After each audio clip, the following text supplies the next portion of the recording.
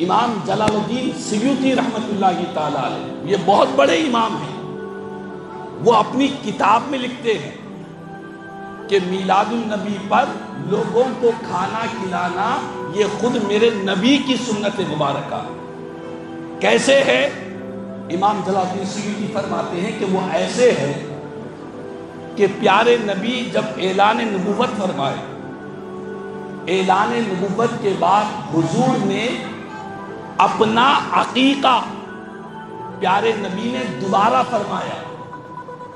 हालाँकि हुजूर का अकीका सरकार के दादा जान ने बचपन ही में हुजूर का अकीका कर दिया था।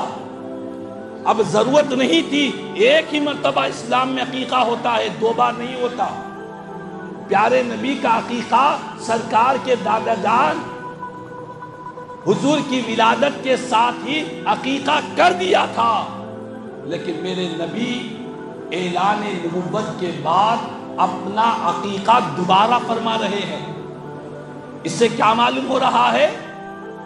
मेरी और आपकी समझ छोड़ें। इमाम जलालुद्दीन सयूती, जो मुफसर भी है, मुहद्दिस भी है, मुहक्किक है, वो फरमाते हैं, इससे साबित हुआ कि प्यारे नबी अपने मीलाद की खुशी में लोगों को खाना खिला रहे। मीलाद की खुशी में लोगों को खाना खिला रहे। क्यों? आप कहें कि नहीं भाई, वो तो अकीका था। इमाम जलालुद्दीन सुयूती फरमाते हैं कि अकीका एक बार होता था, होता है।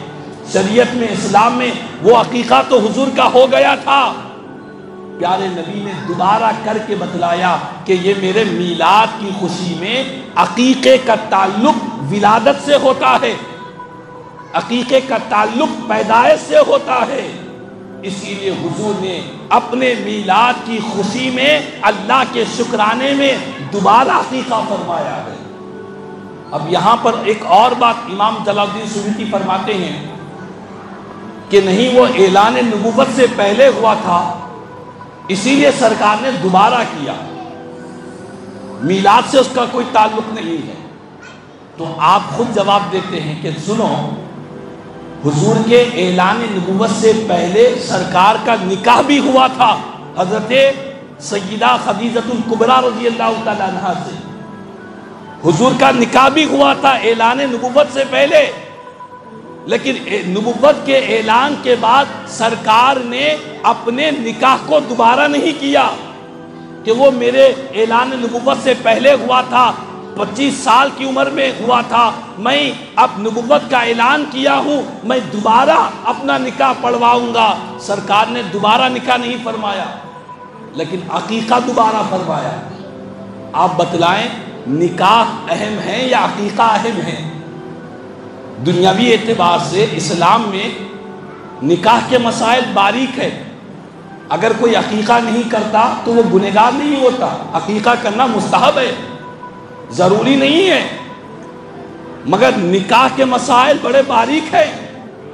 अगर निकाह में कुछ गड़बड़ी हो गई तो इंसान की ज़िंदगी गुनाहों में हो जाती है।